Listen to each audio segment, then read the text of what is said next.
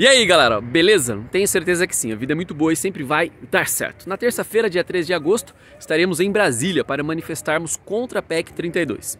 Anteriormente eu fiz um vídeo no canal convidando vocês para irem por São Paulo, mas agora nós conseguimos um ônibus que vai sair de Paulínia na segunda-feira às 18 horas. Se você tiver disponibilidade e puder fazer este esforço para fazer coro junto da gente, nós temos ainda cinco vagas e basta você entrar em contato comigo pelo WhatsApp, vou deixar na descrição do vídeo, 19 999 607990, para que você possa também passar o seu RG e confirmar sua presença para sair aqui de Paulínia às 18 horas no dia 2.